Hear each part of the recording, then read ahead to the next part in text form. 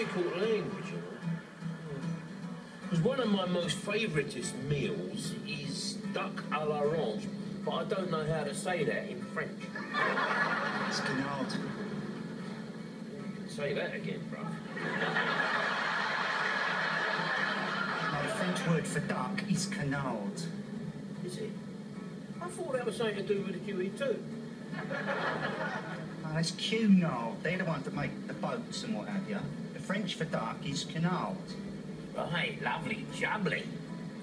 Right, so how do the French say à l'orange then? À l'orange. The same as we do. Yes.